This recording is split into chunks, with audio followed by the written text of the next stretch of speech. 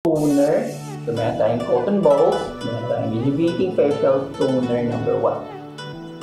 Let's try this. So, since nakapag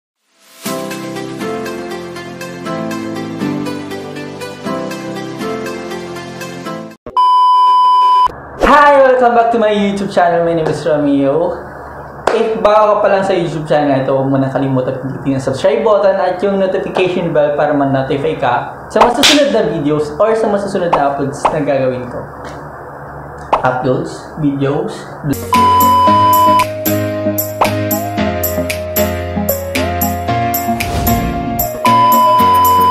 So ayan mga paganda, mga papogi, mga paganda, meron po tayong review, meron, merong review, meron pa? Meron review. Ang gagawin ko pong review ngayon ay tungkol sa rejuvenating set. Gumamit na ako ng Brilliant Skin, gumamit na ako ng Vichy International, tapos gagamitin ko tong Skin Magical Rejuvenating Set eh, 250 pesos lang po siya. 250 pesos ba? O, 250 pesos siya, nabibili siya sa online store. Tulad ng Lazada, tulad ng Shopee. Pwede din na, na, nabibili din siya sa Facebook. Sa mga online sellers sa Facebook, nabibili po siya. At ang kagandahan po nito kasi, 250 lang po yung price niya mismo than other brand na rejuvenating set na nabibili ko before mga nasa 350, 500, 600 pesos.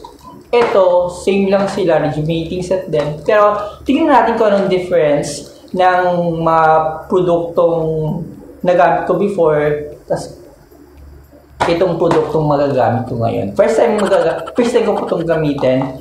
At ang una nakagamit to ang sister ko. Merong rejuvenating soap. Yan.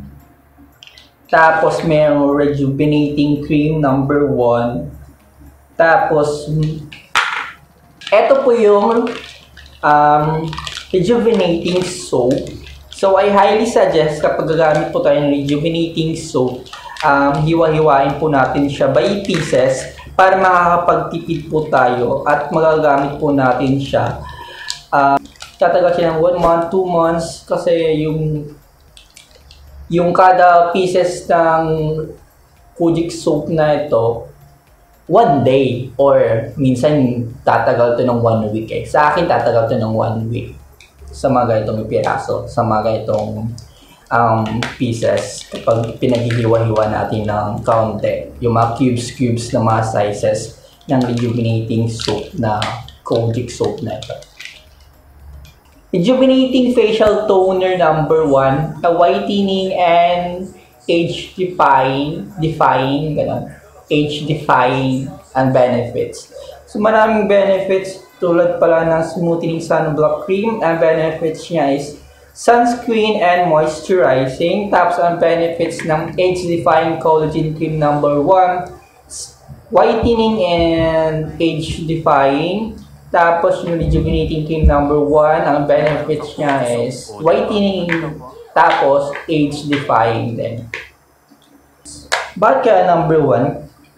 Ba't kaya number 1? Siguro kaya siya tinawag na number 1 kasi um, general yung skin tone, yung general mismo yung hindi hindi sensitive sa skin ng mga tao yung number one na product or number one na theme than other other cream tulad ito ng bitin before tulad ng Eskinol may, may Eskinol ba ano yung ba Maxi Pill yung Maxi Pill di ba mayroong mga number number number so yung mga number yun nagdidepende yun sa kung gaano ka severe mismo yung yung blemishes or acne scars yung breakout mismo sa mukha natin. So, itong number one na to, mild lang po siya sa mga pagmumukha natin or mild lang yung mismong yung effect niya, hindi siya masyadong um, prone sa sensitive skins, ganon.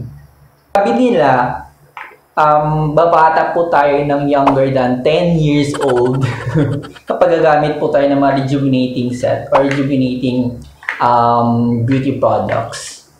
So, ayan. Let's do with the evening set. Kailangan natin ng one piece of cotton. Ah, may ako cotton. Cotton balls. Ito yung cotton balls. Tapos, dapat nakapag-apply na po tayo ng rejuvenating soap o yung Kojic soap po natin. Nakapagkilamos na po tayo ng pagmumukha natin.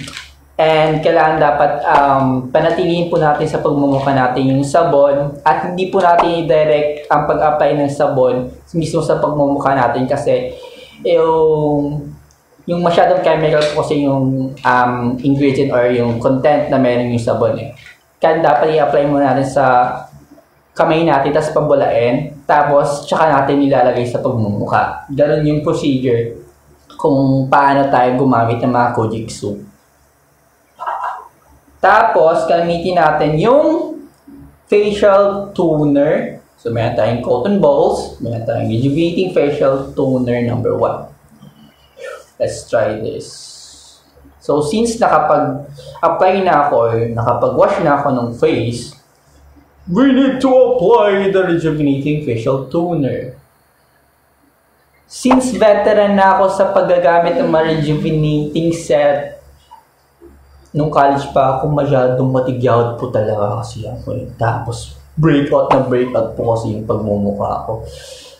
So, nalalaman ko at nababasa ko, napapanood ko sa mga beauty bloggers na ang, pag, ang tamang pag-a-apply ng facial toner is pataas kasi minsan kasi yung yung mukha natin yung yung ganun yung tawag yung yung mga wrinkles or yung mga yung maglo-lose yung ano yung mukha natin kapag pababa yung pag-apply natin ng facial toner. Kaya dapat paakyat lang. Tapos, tsaka din mako-close yung pores natin kapag paakyat yung pag-apply natin. At saka even dapat ang pag-apply. Tapos gentle lang.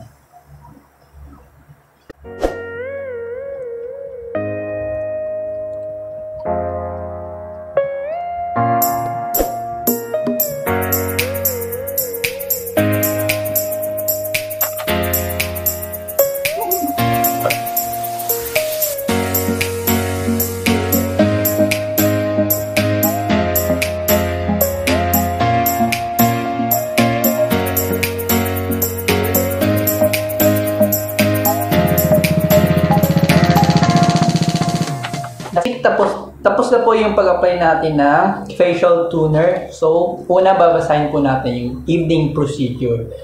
Procedure para hindi po tayo malito or hindi po tayo mawala yung yung step by step or hindi natin makalimutan kung anong susunod natin gawin. So, una, cleanse the face with rejuvenating soap, rinse well, and pat dry with soft cloth.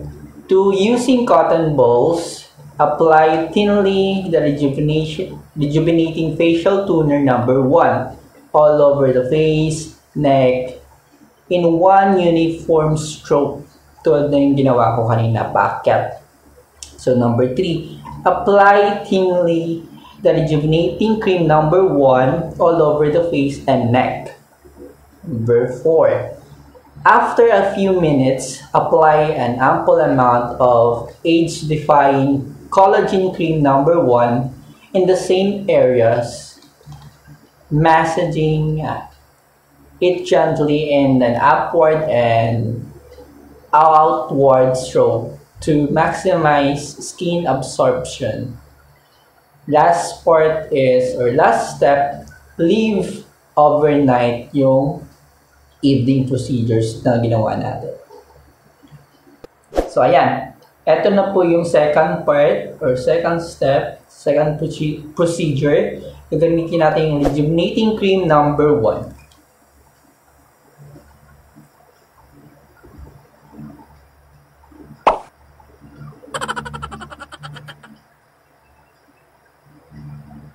Ample amount lang po kasi ample amount lang muna.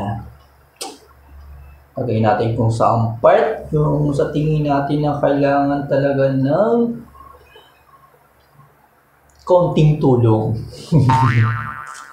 Lagay natin kung saan talaga yung part na nangangailangan ng tulong sa pagmumukha natin para maiba at magkaroon ng matulungan naman tayo sa pagiging, you know, yun.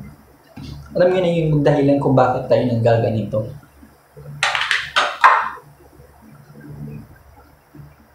So, rejuvenating cream number one sa face and neck. Even lang po ang pag-apply natin. Then, massage po.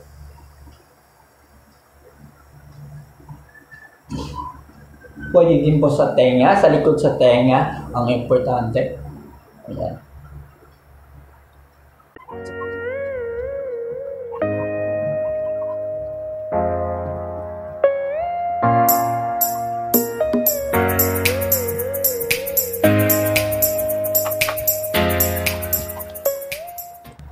Then next one is after a few minutes or 10 to 20 minutes, apply natin agad yung age-defying collagen cream number 1. So maghihintay, tayo ng I think 5 to 10 minutes or 10 to 20 minutes. Depende kung anong gusto niyo. Balik tayo mamaya. So ayan, tapos na po yung 10 to 20 minutes natin kanina. So, i-apply na po natin or gagamitin na po natin yung age-defying collagen cream number 1.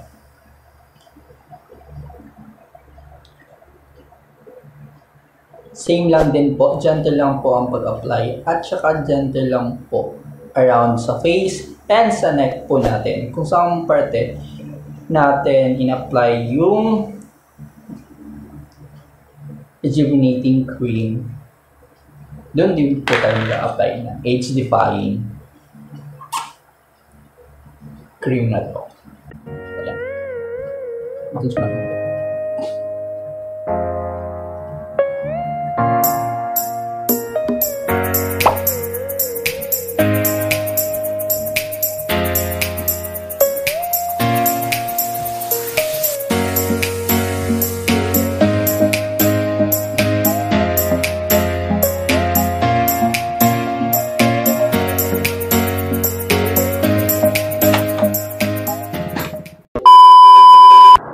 So, ay natapos na po yung procedures natin sa pag-apply natin ng rejuvenating set or yung mga um, step-by-step nating ginawa sa gabi, sa gabing ito.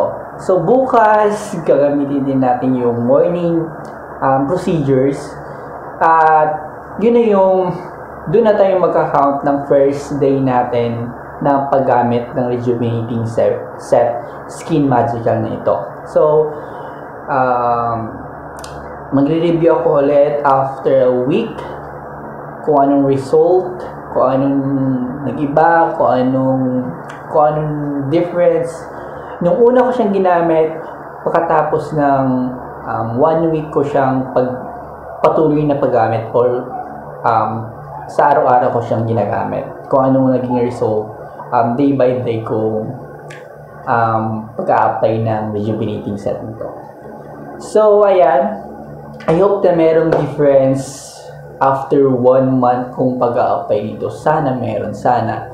Hindi magkakalayo yung yung result ng tulad ng ginamit ko na my rejuvenating sets before. And I, I highly suggest din po yung mga product na ginamit ko before. Kasi well satisfied po ako. I didn't think this one would fit me kasi Naalangan ako kasi mura daw eh. So kapag mura, medyo ano, medyo, you know, paiba-iba yung result. So, precaution lang po natin, bago po tayo mag-apply ng produkto or bago po tayo mag-apply ng mga beauty product or mga rejuvenating set, kaya dapat i-apply po muna natin yung mga product sa, sa um, kamay natin or sa skin natin i-apply po natin siya katulad ng facial toner, tulad ng sabon, tulad ng creams, ilagay po muna natin sa kamay natin or sa skin natin. Tapos patagalin po natin ang 24 hours. If meron pong allergic reaction, huwag na po natin gamitin ito. At kapag gumamit po tayo and hindi natin tinest muna, um, consult, tapos after nun nagkaroon tayo ng allergy, consult, consult po tayo sa ating dermatology. Dermatologist, ganun. So, ayun, yun lamang po for today's or for this night's vlog.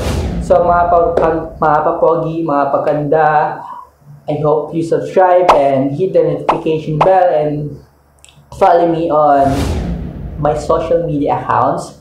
And bye. Bye. Thank you. Thank you. See you next time. Peace out.